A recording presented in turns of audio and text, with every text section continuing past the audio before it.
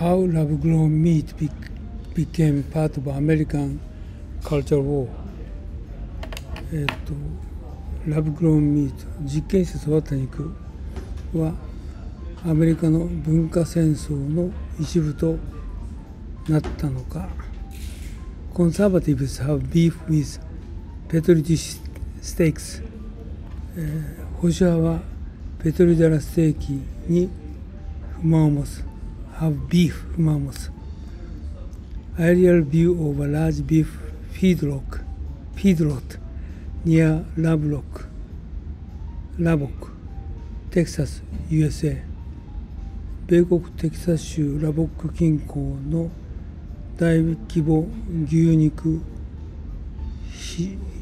育場の航空写真航空写真航空写真アイリアルビューですね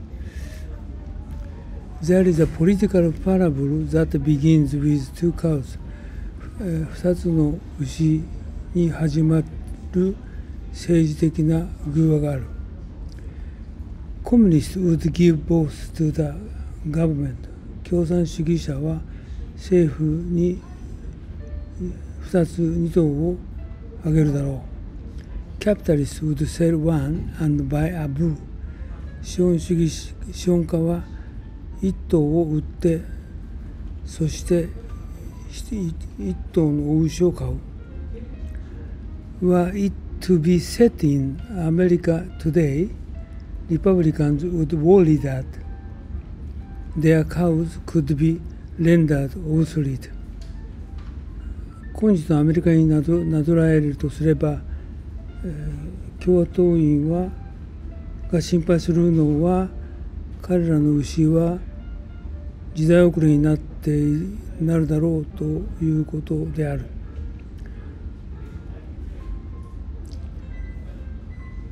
On May 1st, Ron DeSantis, Florida's governor, banned the sale of lab-grown meat in his state, an attempt, he said, to save our steaks. 5月1日にロン・ディサンティスはフロリダの知事だが、えー、彼の州で、え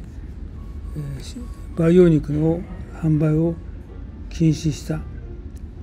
えーステーキ我々のステーキを守るための挑戦として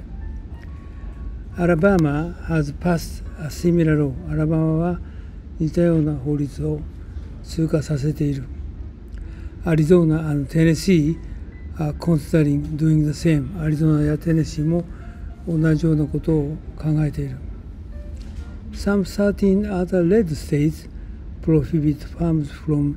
labeling their lab-grown meat with terms that traditionally refer to real animal product いくつか13他の赤い州は企業が培養肉というラベルを貼るのを禁止して慣習的に今までの動物製品本当の動物の製品であるということを